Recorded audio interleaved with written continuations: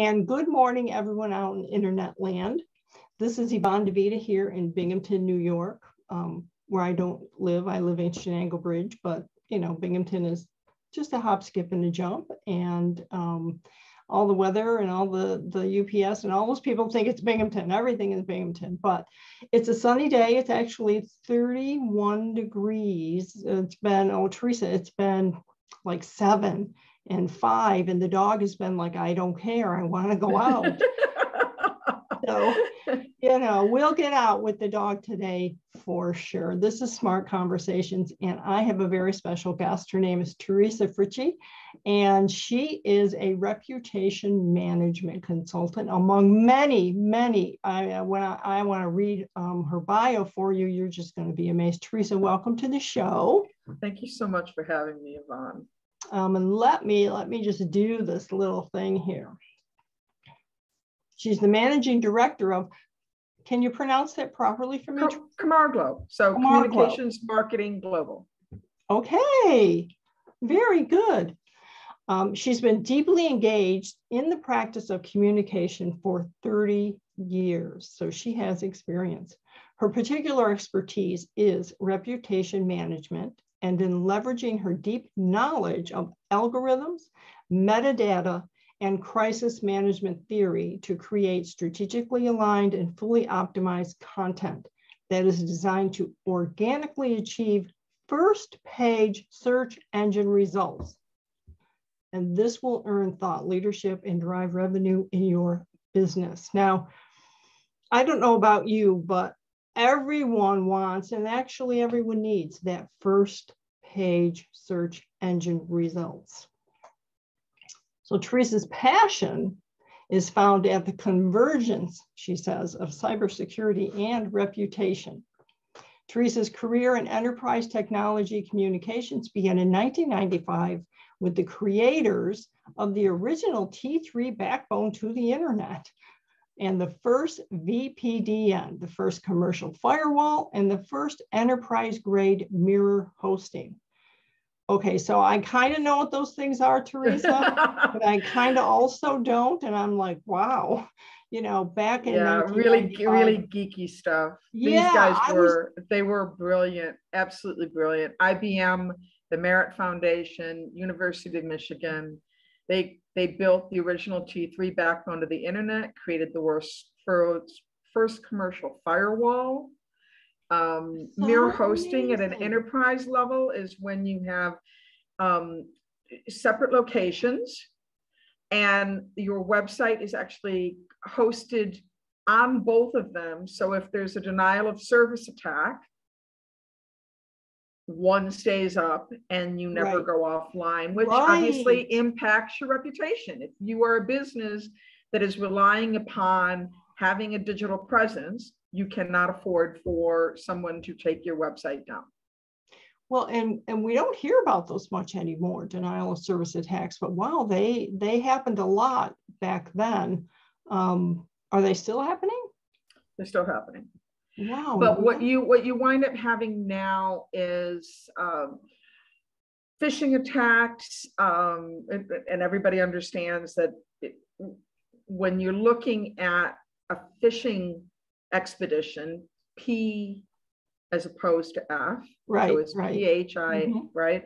Mm-hmm. Um, this is social engineering at its finest. Mm-hmm. It's designed to, the hackers are actually going into and trolling the internet, just mm-hmm. like if you were on the back of a fishing boat, mm-hmm. and looking for data that is highly personal. So when they send an email to your employee, mm-hmm.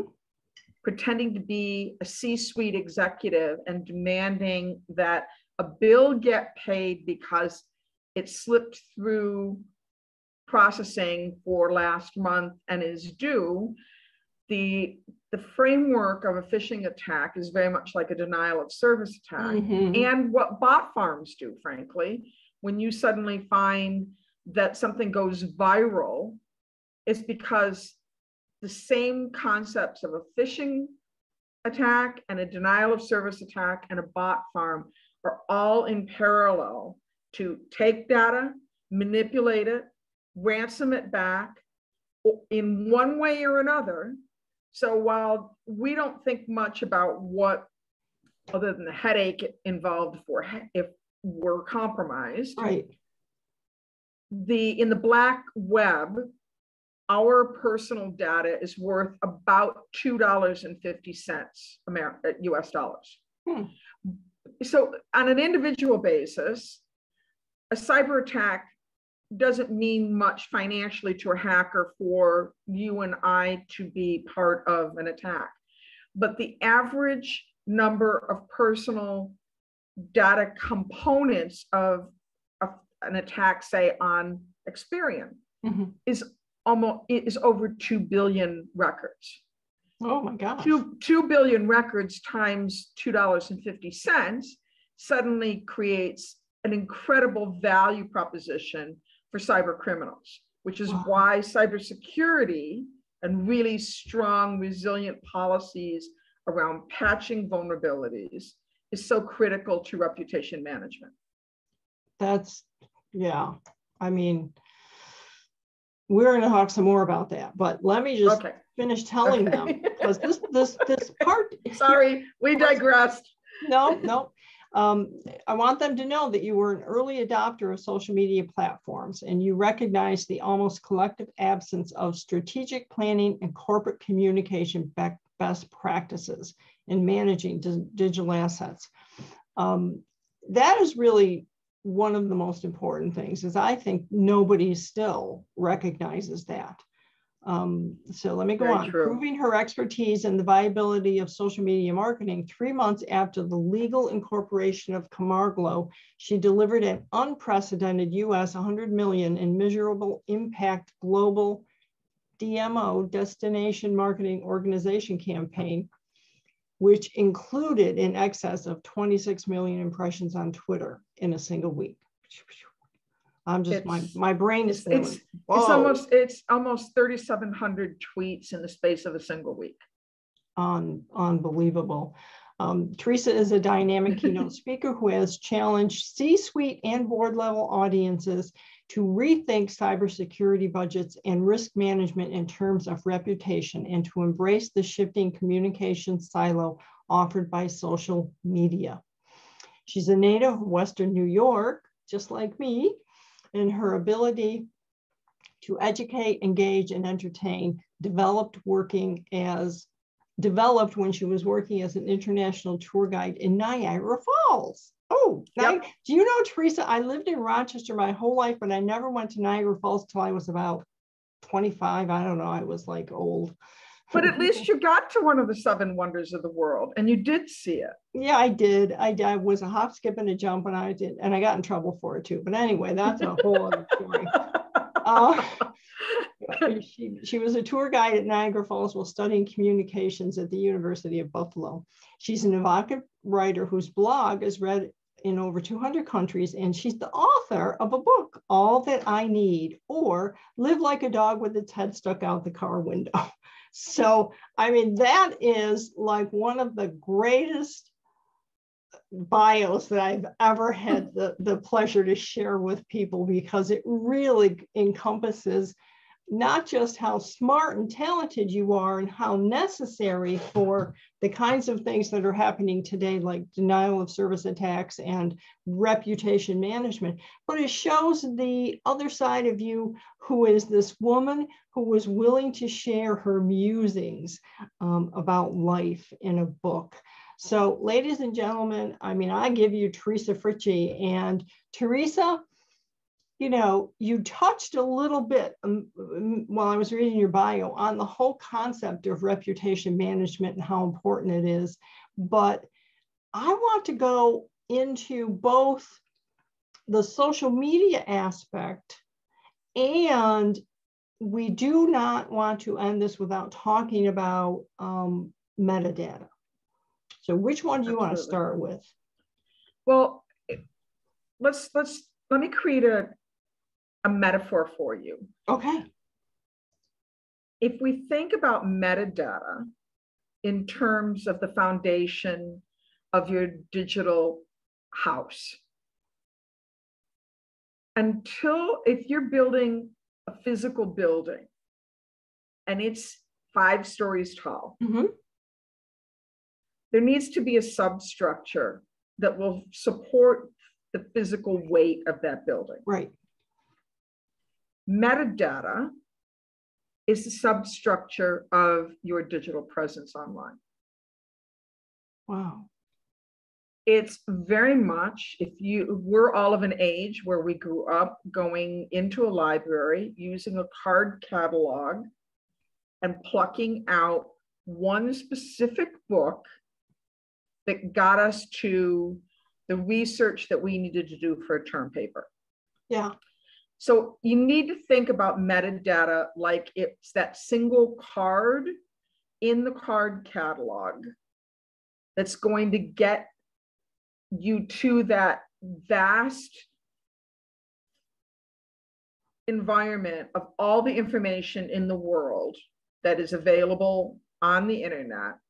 No one can find you without that metadata being fully optimized. They just can't. You can write anything you want in the back end of your website, but it's the keywords that you would find at the bottom of a card catalog, biography, the Middle East, history, um, uh, history of Gertrude Bell, by mm-hmm. example. Mm-hmm. So Gertrude Bell was a contemporary of Lawrence of Arabia. She spoke multiple languages. She had eh, was feted by sheiks in the Middle East when women weren't allowed in Victorian England to travel outside of their own homes. Wow. And she was a spy. Oh. Which a lot of people don't know, but she was a spy previous to World War One breaking out. So if you think of Gertrude Bell's card catalog in the Dewey Decimal System in the library, and you were building a website around Gertrude Bell, you would include metadata that was Middle East, history, espionage, World War One. So, but you wouldn't necessarily include the title of Gertrude Bell's book. Interesting. Because people are going to be searching for history of the Middle East. They're going to be searching for espionage. They're going to be searching for World War One. So what you want to do when you're looking at your metadata and subsequently your the keywords, and we'll we'll talk about keywords and optimization a little later on, is build a foundation that is rock solid against who you want to be your target audience. Hmm. And that's where the strategic alignment with your business objectives becomes so critical. You can you can write an art direction brief for a website, but unless the C-suite and the board of directors is actually taking the time to sit down and do a debrief with your chief communications officer, your chief marketing officer, so that they can intelligently brief the web designers.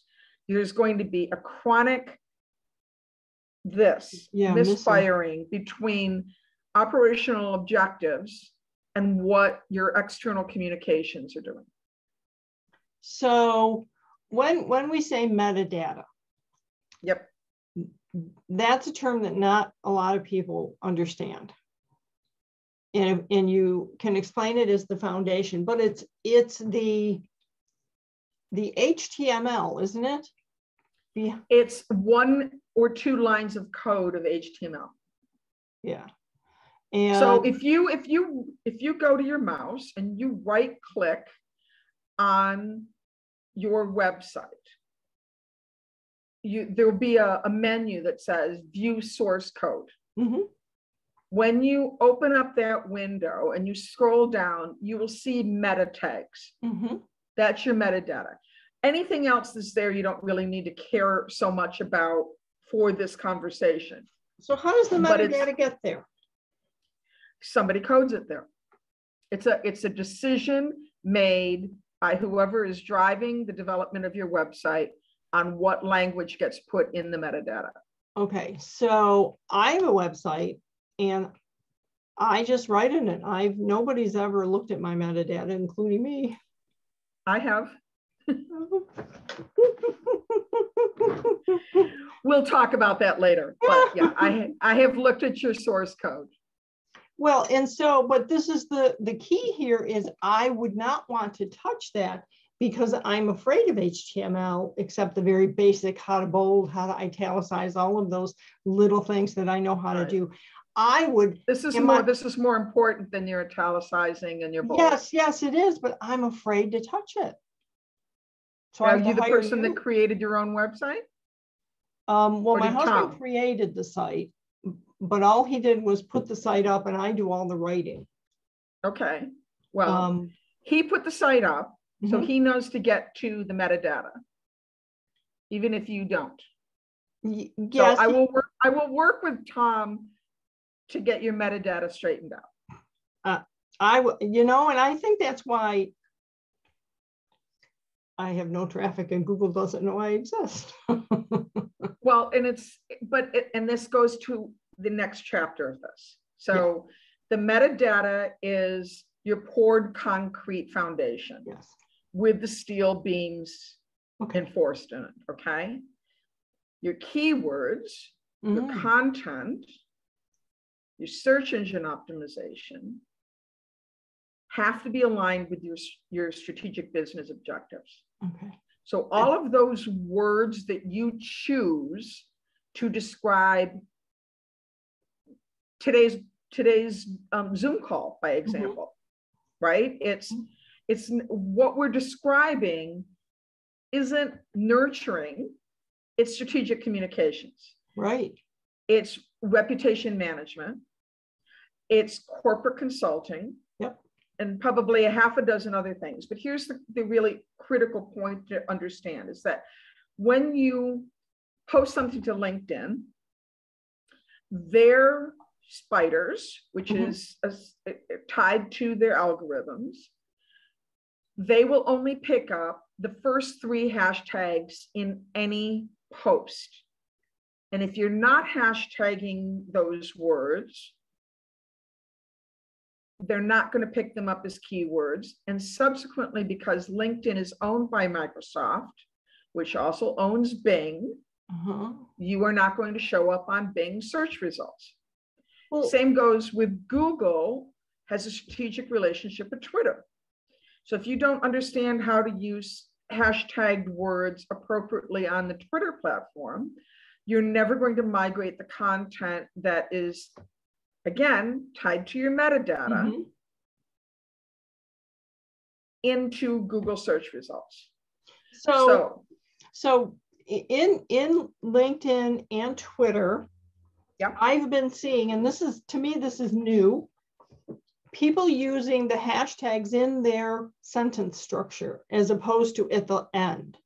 Yeah, well, here's, I have always written that way. I treat oh. writing always.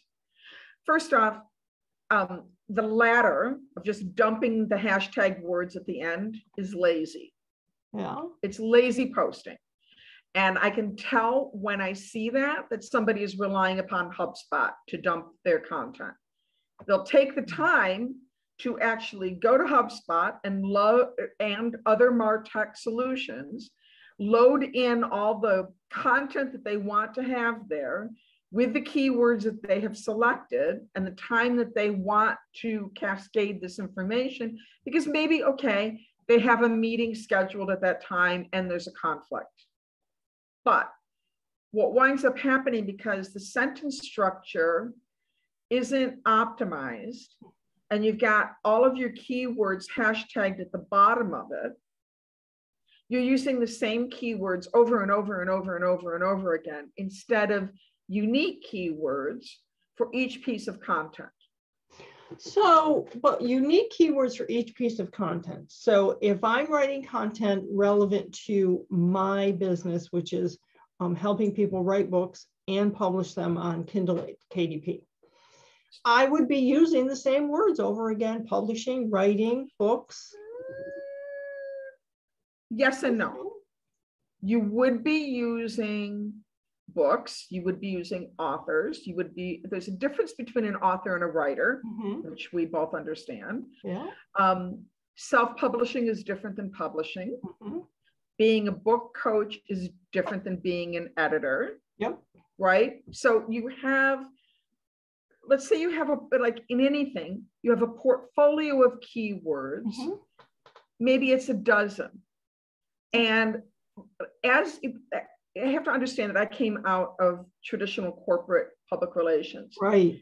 And my original um, coursework at university was journalism, broadcast, and speech. So the five W's and how are critical. Mm-hmm. If you can't answer that in your content, why are you publishing any content on a social platform to begin with? And it should never, ever be about selling. Your share, social media is about sharing mm-hmm. and in building your reputation online is much more important to be sharing as opposed to trying to sell. And I see people who are so-called influencers, this is just a misnomer a thousand times over, who might have 3 million people following them, but when they are publishing content, because they make a business out of publishing content for other people to expose them to their 3 million followers, there's they're not optimizing that content because they've hired junior and this is not an offense to any 20 year old that grew up with two phones in their hand but there's a difference between thinking strategically about the content and actually posting content. But, but if two things. Um, when I see someone's content that I want to share, so it isn't right. always about writing and publishing. It could be some of your content because Which reputation management is yeah, hugely it, it ticked, important to an author, right? Yeah, it ticked it ticked a box. So I would I try to grab the hashtags that that person has been using. Perfect. Okay. So then secondly, if these influencers who have 5 million followers and they're getting paid to talk about a product, why do they care? They're getting paid. This they is their don't. money.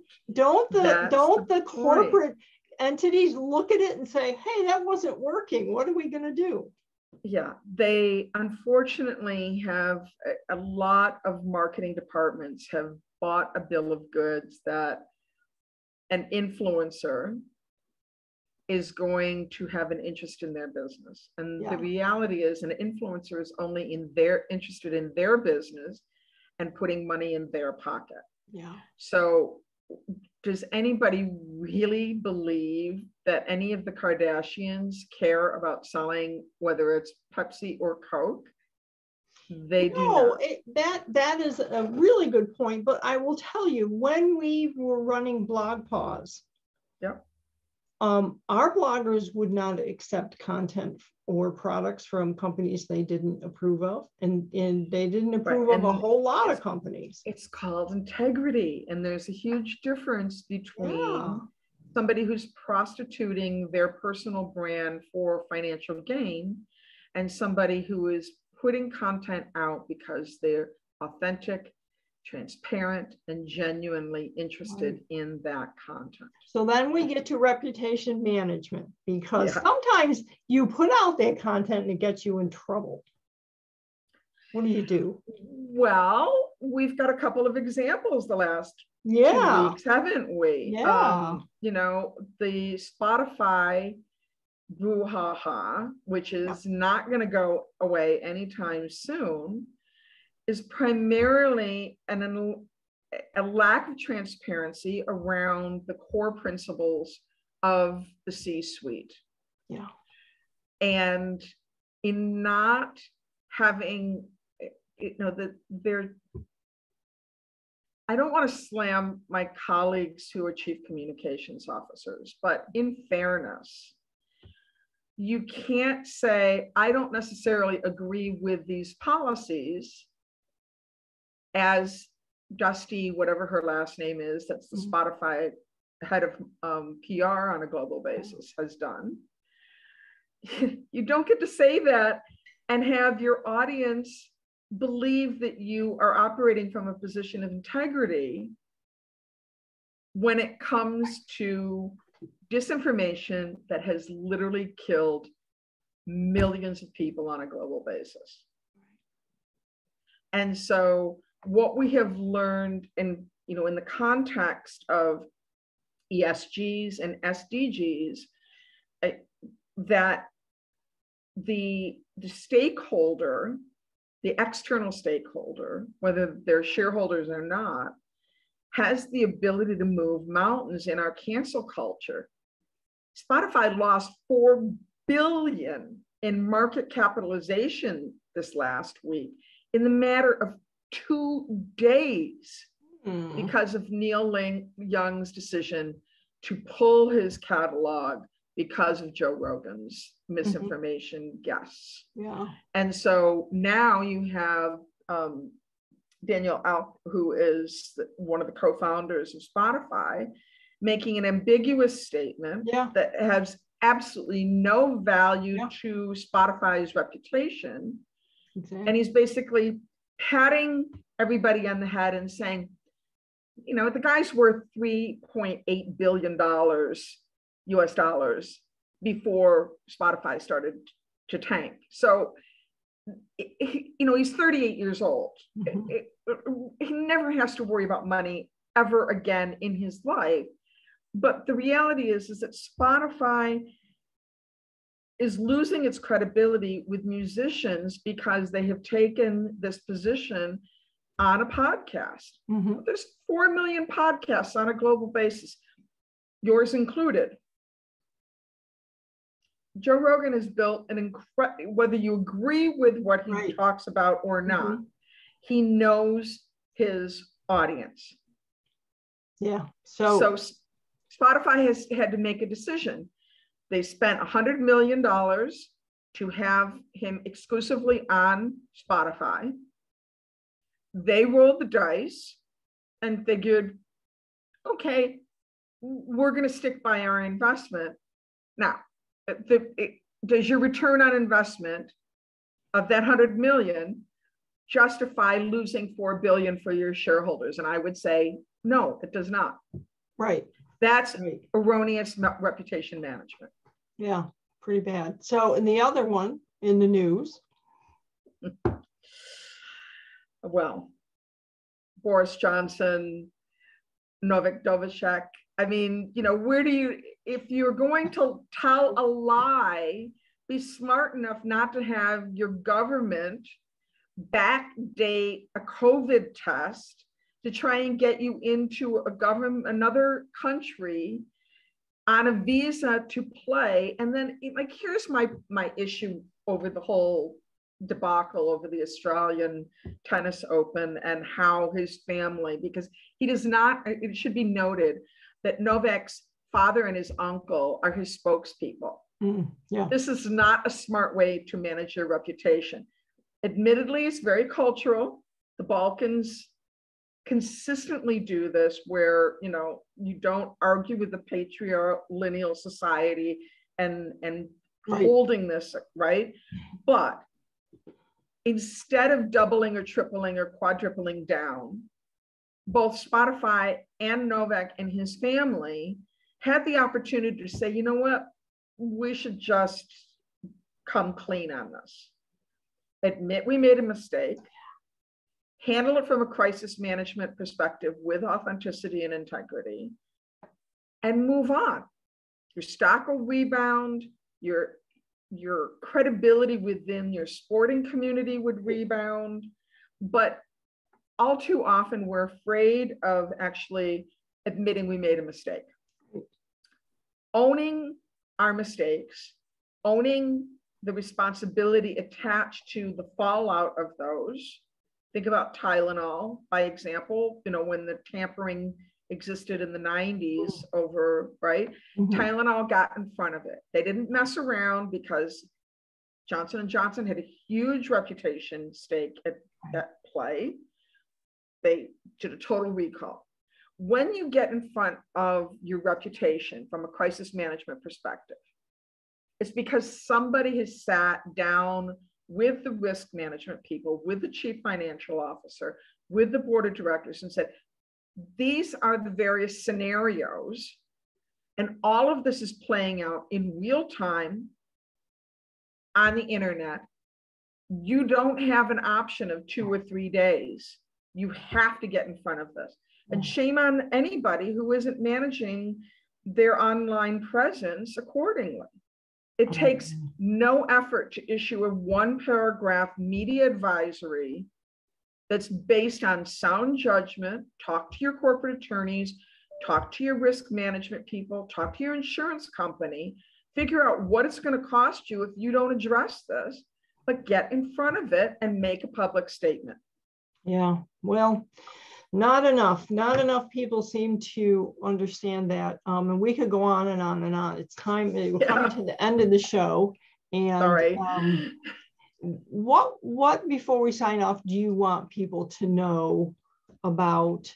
Um, let's let's end with risk management itself of what we've been talking about. The average person, um, we see these things happening and we don't know what to make of it we i mean i mean as you said if if these uh, people could just say i made a mistake well well um, boris um, johnson from the uk went on and said i'm sorry i made a mistake but his mistake was too big to get over.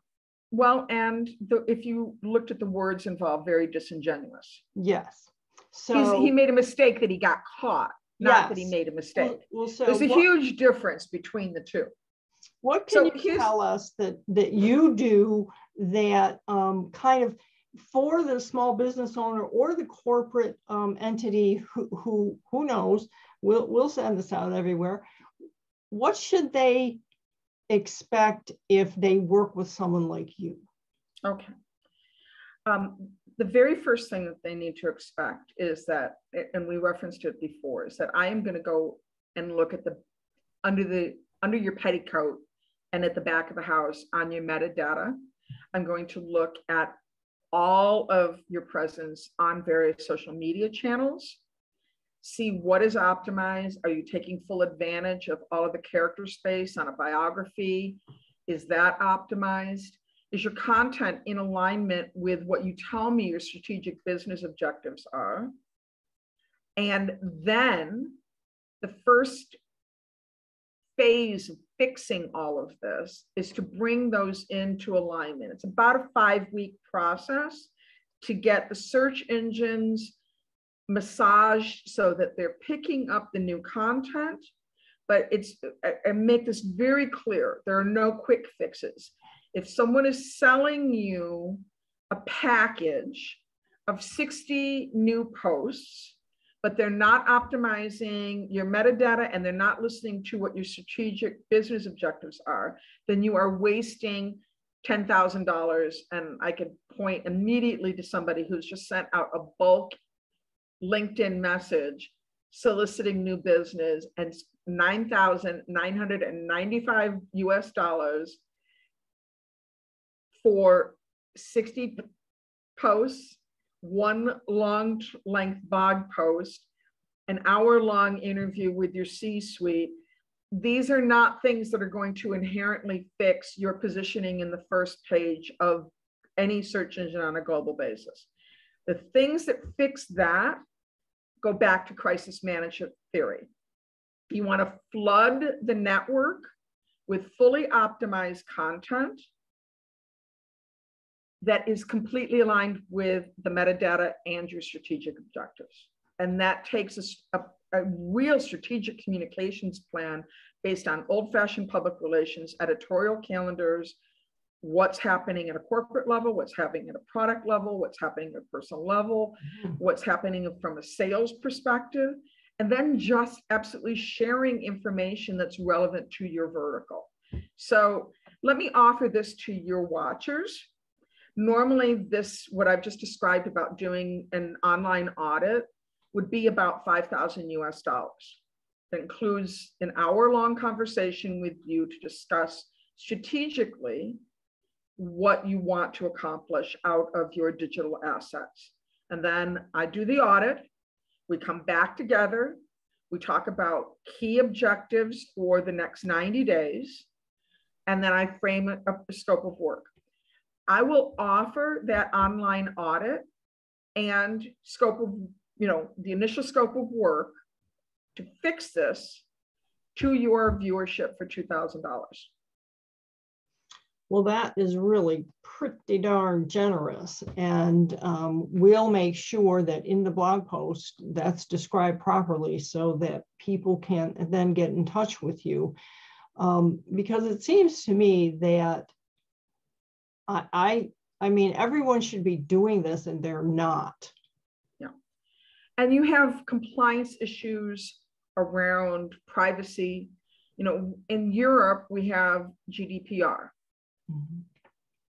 In the United States, you're supposed to have an S after your HTTP, right. so that it is a secure website, so your data can't be hacked. That also requires you doing regular maintenance to the back end of your website to ensure that if you mm-hmm. have add-ons and applications that are running on your website, that you have security patches from your third party providers so your supply chain of software is secure.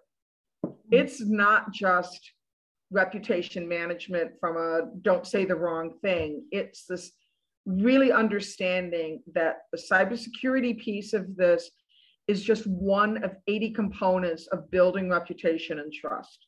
But it is a critical one. If your customers and your audience can't trust what you are doing with their data, they will go someplace else to do business. And that is the truth. So um, this will all be written up and shared. And um, Teresa, this has really been so fantastic. And it's a subject, so and you know so much about it that I'm tempted to say we need to bring you back to talk a little bit deeper into some of the pieces that you talked about because I would be happy to do that. And let's do this if we're going to. Why don't you ask your audience if they have questions to submit them to you in advance so that we can address some of the more do. pressing concerns that people might have. But I'm, we'll I'm happy to have another conversation with you anytime, Yvonne. I, I'm, I'm privileged and I'm honored. So this is Yvonne DiVita signing off from um, Smart Conversations. And by golly, you learned a lot today. Um, and so we'll, we'll bring Teresa back, I promise. Thanks, Yvonne.